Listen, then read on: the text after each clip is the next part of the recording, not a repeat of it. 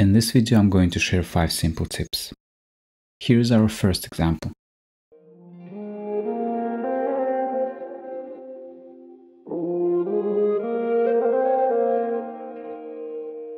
This loop sounds a little dull, and I would like to add some brightness to it. You could use EQ to boost high frequencies, but there is a better way. Let's insert Exciter in an audio effect slot. Exciter generates high frequency content that is not part of the original signal. You can use it to add life to your recordings. Set the cutoff frequency of the high pass filter first. The input signal passes through the filter before harmonics are introduced. You can dial it with the knob and choose between two different colors.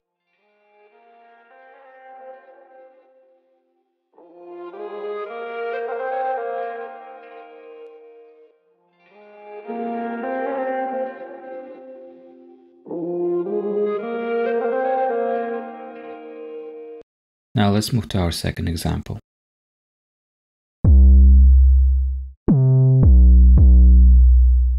Sometimes when you use pre-recorded loops, it's difficult to tell what notes are being played. You can start using Tuner utility to identify pitches.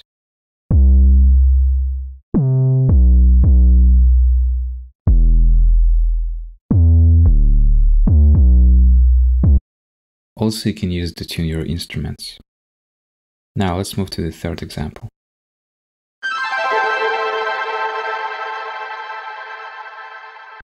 The sample is in mono. I would like it to be in stereo and add some width to it. In Delay Group you can find Sample Delay plugin. It can be used to emulate stereo microphone channel separation.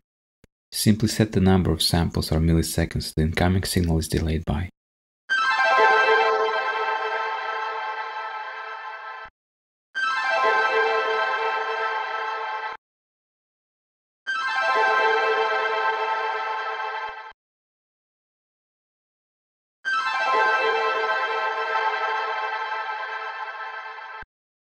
Let's move to our next tip.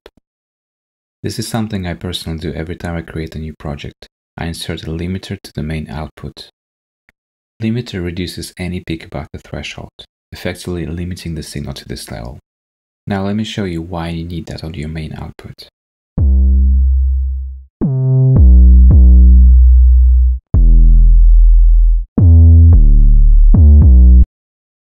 If you look at the maximum level on the track, you can see that was way too high. It would probably hurt my ears or damage the speakers. But the main output didn't pass the zero. I highly recommend you to keep limiter on at all times for safety reason. Now let's move to our last tip. If you open global tracks, you can find a signature track. When you create a project, the key signature defaults to C major unless you choose a different key. You can add any number of key changes to a project. When you add a new one, it changes the key from the insertion point forward until the next key signature change is reached. You can store up to 9 sets. Now let's see why that matters.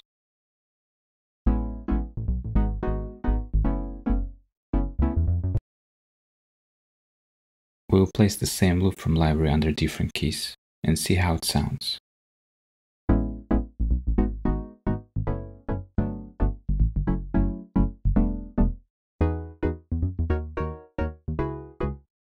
As you can hear, key signature affects the playback of Apple loops in the project.